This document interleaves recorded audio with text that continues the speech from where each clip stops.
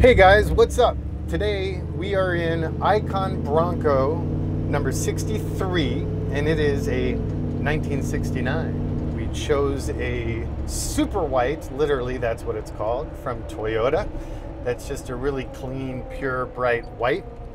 And then of course in the Stormtrooper theme, that means that a lot of the trim that is normally anodized or various textures is all blacked out. So this truck is built in the new school style.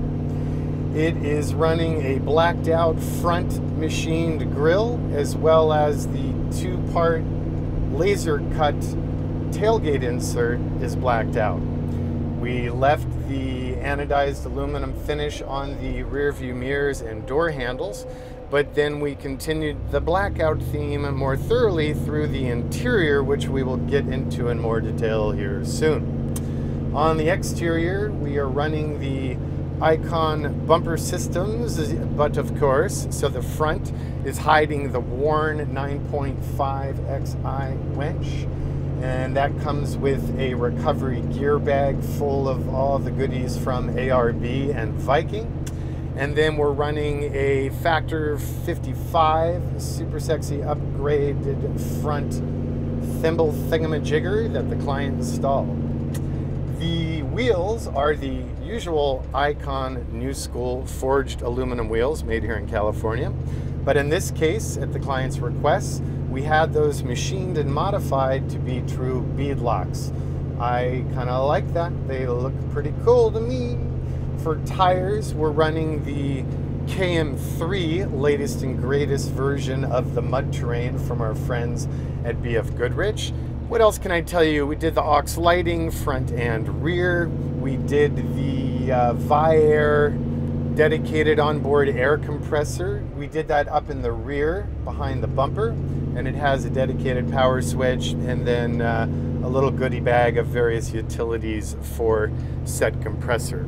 We're also running the ARB air compressor, but we left that to be dedicated purely for the locking differentials. Front and rear locking differentials are fit into Currie axles, Dana architecture, 44 base front, 60 base rear. Beautiful fit and finish on those. They are etched and powder coated. And then for suspension, we are running the Icon Sport suspension, which is all coilover design, adjustable. And the sport aspect means it is nitrogen charged with remote canisters that have fast and slow speed adjustability to rebound, which is really nice. We're running tunable sway bars front and rear and Eibach coils. For powertrain, we're running the beloved Coyote 5 liter aluminum fuel injected V8 as found in contemporary Mustang GTs. For the tranny on this one, we're running the 4R70W, whatever the, I always forget the anacronyms. I suck at anacronyms and reference numbers on watches for that matter. But whatever, the bulletproof four speed with overdrive, which in turn is sending power through to the Atlas 2 twin stick part time shift on the fly four wheel drive transfer case, two speed low and high range. We're running a light window tint 3M film. We are running a bikini top as well as the full removable hard top. Hard top sports the Alcantara headliner. Of course, we're rocking the Icon visors as used in Lear jets by Rosen. Other custom touches in the interior include Relicate leather, we deleted the Chilewich inserts and the Chilewich floor mats.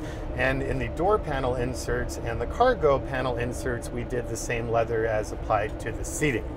We have the optional carbon fiber three stage heat blankets in the seats. We have the tuck and tumble and removable two passenger rear forward facing bench seat. And what else? We've got power windows with my gizmo where you simply nudge down for down and up for up, or you double tap and everybody down, and then you double tap and everybody up. We blacked out all the door hardware. We even blacked out the stainless steel laser cut ribbed inserts in this truck.